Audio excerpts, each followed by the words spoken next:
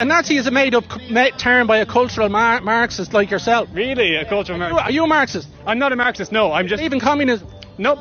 What about the Holodomor? Have you heard about them and the, and the gulags? I'm not. I'm not for any of that. Of course. Good. Well, we agree on something. Yeah. Yeah, so I, I've never called myself a communist, a Marxist, a socialist. I am simply against racism. I'm against all forms of bigotry. What's racism in this country? I'm against dog kickers fucking trying to get into the Dáil.